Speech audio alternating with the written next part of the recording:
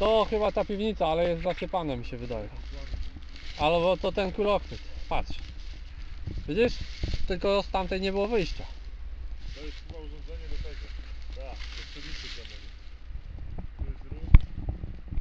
Ale jest. Ciekawostka.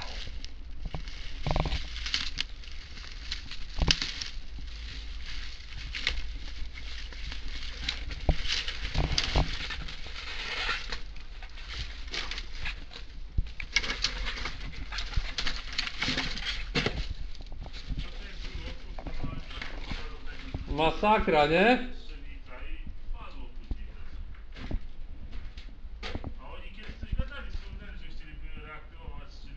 Nie wiem czy tutaj.